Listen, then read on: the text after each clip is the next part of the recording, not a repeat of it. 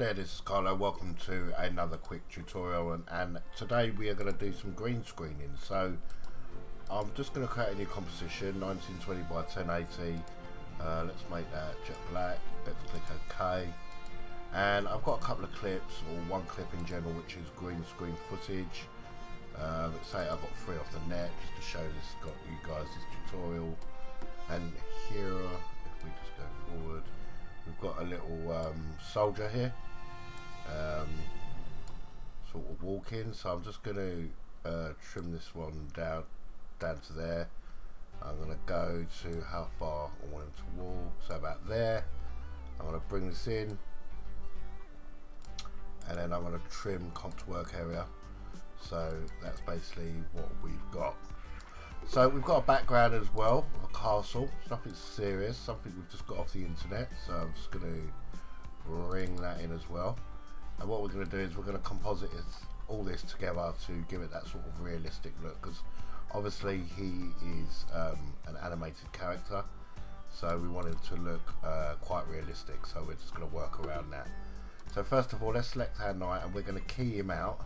If we come up to effects, go to keying uh, keylight 1.2 that'll open our key light and then we'll click on our dabber and then just key that out so we've got our little guy there at the moment but he's sort of walking on the spot and not just that he's very very big so let's go to scale and just scale him down a bit and let's just uh, bring him down onto the grass here maybe scale him down a little bit more so looks uh, way too big for the scene um, maybe some more.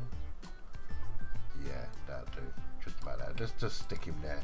So let's just have a look at our green screen green screen attributes at the moment. So let's go to uh, screen map and just make sure he looks the part. So because we used a wallpaper version of the green screen, he's going to be pretty um, awesome. If that makes sense, keyed. He's going to be very well keyed, so he's going to look pretty good anyway. So don't really have to sort of mess around with a green screen on that. It's only if you're green screening um, with an actual fabric green screen and you might need to make some final adjustments to that. So let's go to uh, final result. And obviously as you can see he's walking on the spot so we sort of need to move him. So how do we do that? So it's very simple. Uh, we're going to go to the beginning of our scene. We're going to click P uh, for position, click our stopwatch, say move him a few seconds and then we're just going to drag him to about there so as you can see now we have a walking character. So if we look at him he's walking along. He don't look too bad. Right so let's just trim this comp work area because we're going to sort of stop him about there. Let's sort of, bring him down and let's trim that comp work area down a bit. And let's just work on his uh, realism because uh, at the moment it does look a bit flat. Now what you can do is you can actually bring scenes in, uh, things into the scene, uh, just to make him look a bit more realistic. But first of all, let's um, close that and let's control D on that. Sorry, let's just do that properly. Click on it and let's go uh, control D and duplicate that layer. And let's go to the second layer and then we're gonna uh, rename that uh, shadow. So we're going to have a bit of a shadow on him as well. And what we're going to do is with that shadow, we are going to make that a 3D layer. So if you can't see it, just press the toggle button at the bottom and you can do that. So we're going to make him a 3D layer and then we're going to open this up and let's play around with the position because it's going to be like that. So let's go to, if we can find it, that side. That side. That side. Let's get our rotation tool and let's bring him down so he's quite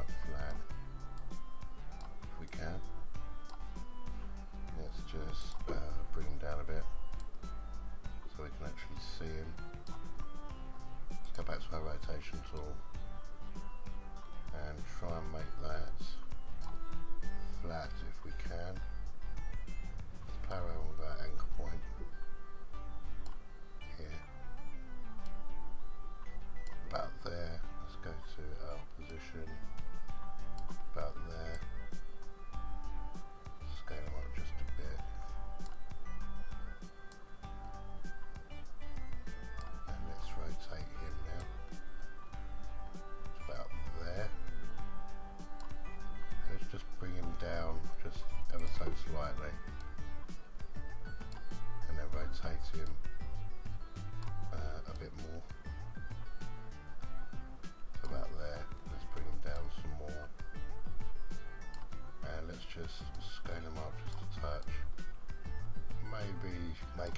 Thinner.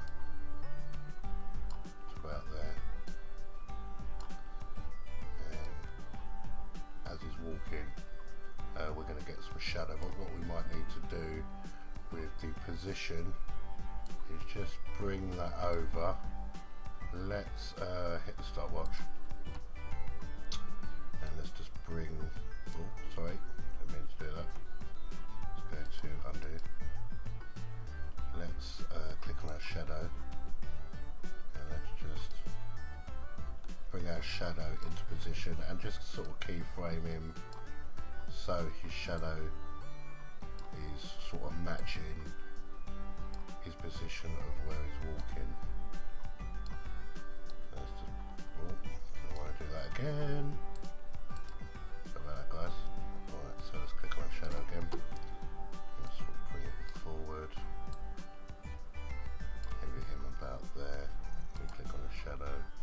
Basically all we're doing is we are animating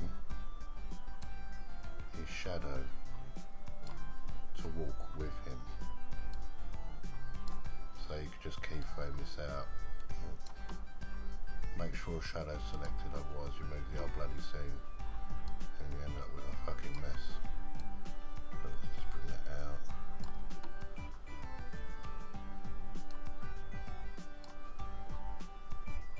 Shadow's selected. It's just basically patience to keyframe the shadow in position. So let's just have a look quickly. So let's just turn off all our layers. Uh, um, thingy layers. Let's play that back quickly. So he's walking. He's got a bit of a shadow, but we need to do some stuff with that shadow. So let's um, bring the opacity down on that shadow, and let's go to. Um, sorry, didn't mean to do that. Let's go to effects. Shadow selected. Sorry. Let's go to effects. Let's go to color correction. Let's go to curves, and let's just bring that down. So it's like a black sort of color, like so. Maybe bring the opacity down on that. All we're just trying to do is just create a shadow effect on the floor. But obviously, you know, it's got to be keyed a lot better than that. You know, the key is not too clever on that. But you sort of get the general idea of what we're sort of aiming for uh, in the scene. So that don't look too bad, as you can see. It looks pretty realistic there. And he's sort of walking along, doing his thing. You can sort of obscure um, his uh, legs if you want. If you get, um, say for instance, uh, if you go rocks, for instance, PNG. Let's download a rock PNG file. Let's go to images and we can say for instance that if that's a PNG.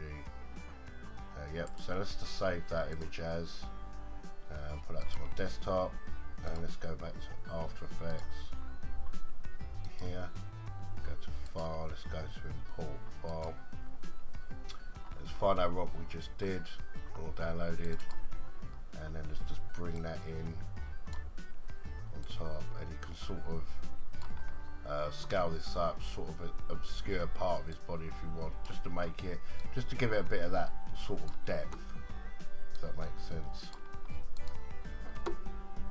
And then you can sort of color correct that later on. But whatever you put um, in front of him he will walk behind obviously because it's like you know sort of masked as well but what I'm going to do is I'm going to get my green screen knight and then what I'm going to do is I'm just going to do a bit of color correction to him so I'm going to right click go to effects go up to color correction and then I'm going to go to uh, photo filter and all that's going to do is that's basically going to match the character up to the lighting of the scene.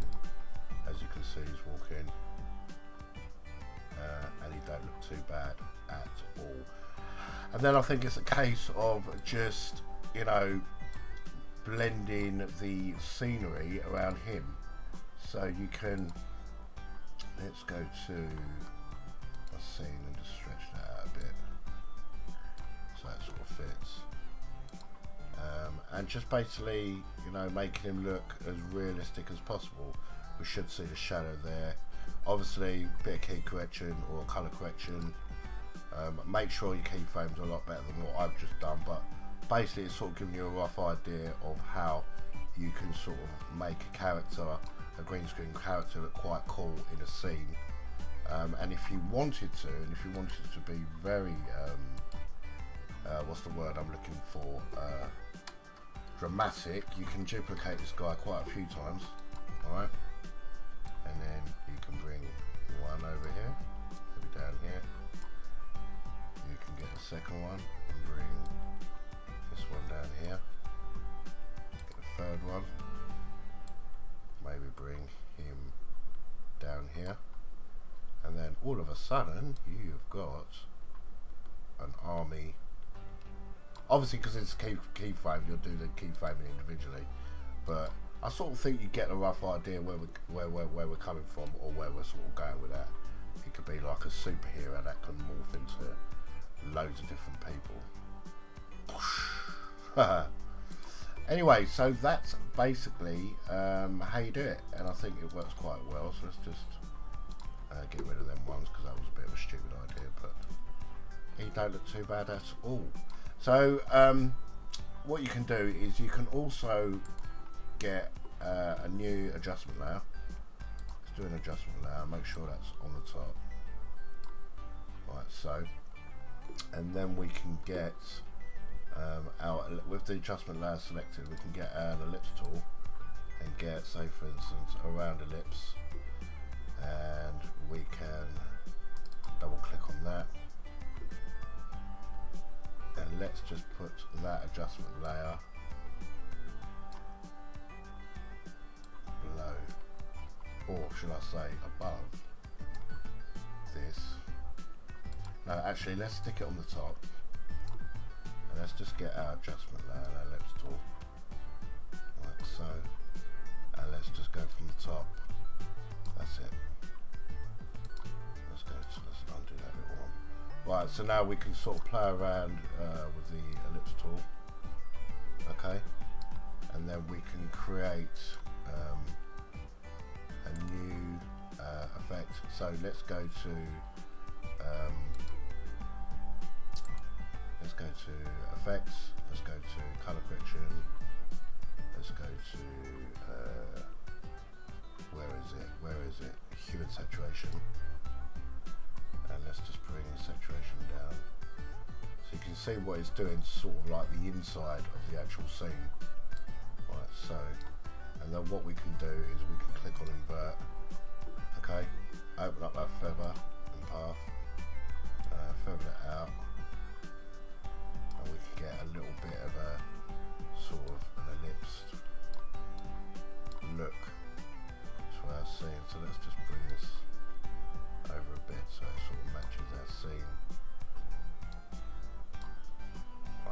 maybe sort of make that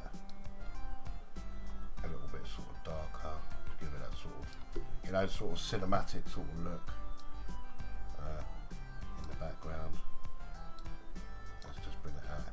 And that's basically how you do it. That's basically doing a little bit of compositing with green screen um, in After Effects and that don't look too bad at all. So I hope you've enjoyed this uh, very quick quick compositing tutorial uh, thanks for listening guys. Uh, please remember to just smash that like button if you enjoyed this video. Um, and if you're not a subscriber just hit that subscribe button uh, for more great sort of tips and tricks tutorials uh, within After Effects and many other programs. So as always guys thanks for listening. And as always I will definitely catch you guys in the next one. Ciao ciao